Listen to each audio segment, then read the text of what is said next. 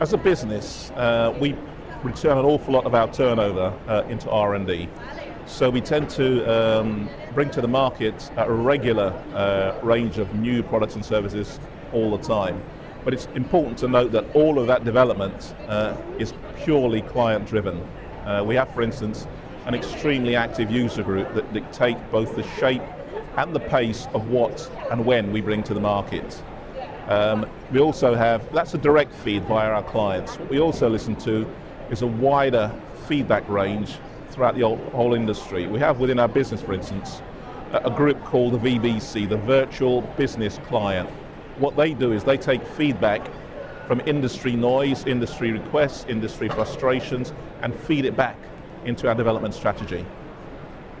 Having said all of that, in terms of key products, what we have now is we have a, a mobile first uh, philosophy taking us forward for the next, at least the next five to ten years. What we mean by that uh, we, we've developed uh, a range of uh, products sat on a platform, started uh, with our Go mobile, mobile development that actually covers uh, the understanding that people now want a seamless, from smartphone to tablet to PC solution that behaves the same and looks the same. So we can extend products and services not just to uh, an FM provider, but also to the end consumers of that service.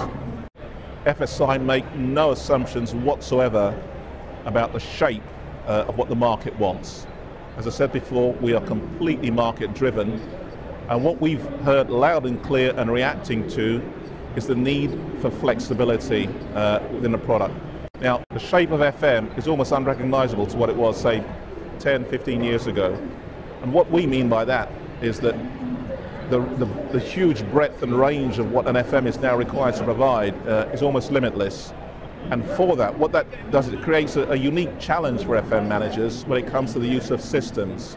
So their systems are being challenged to produce and accommodate products and services that were never envisaged. So what they need is they need a product that can change shape or a product that can be rapidly developed to accommodate any new development or any new sector they may go after. And our mobile first philosophy, which is a platform upon which you can develop and create any application, uh, gives them limitless flexibility.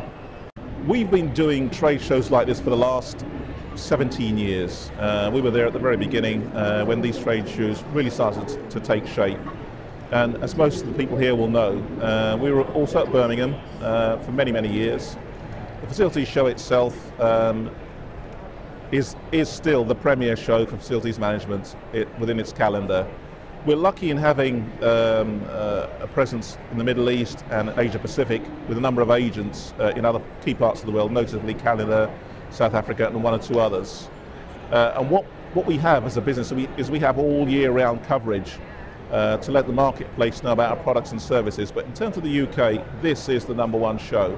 What we like uh, about the show and its current form is that London-based means that the lasso that UBM, the organisers, are able to, to throw encompasses a, an international audience. So people uh, who typically may have thought twice about coming to Birmingham are happy to get on a plane and they're within a few minutes of landing within the UK uh, to ExCeL. With, with unique products, what we've done is we've hit upon uh, a key visual exception reporting tool in the form of a, a new product called Live View. What that does is uh, give a very, very simple, um, global if necessary, could be regional, view of hotspots. Um, so you configure a threshold uh, at which you want to be alerted. It could be, for instance, show me when within our sites in Birmingham or this or head office uh, has any any uh, calls or any uh, statutory um, jobs about to breach. Send me a text. Change this change this uh, map to red. And it's a very very simple visual alert without you needing to trawl through reams and reams of reports. What makes us unique, or what FSI is, uh, it, it's really really simple. Um, there is, if you look around the trade show, for instance, there's a proliferation of people that purport to do exactly what we do. Um, we've been doing it for 25 years. In fact, this year is our 25th anniversary. And what we do is, is ensure that people know that we're not just a technology for technology's sake company.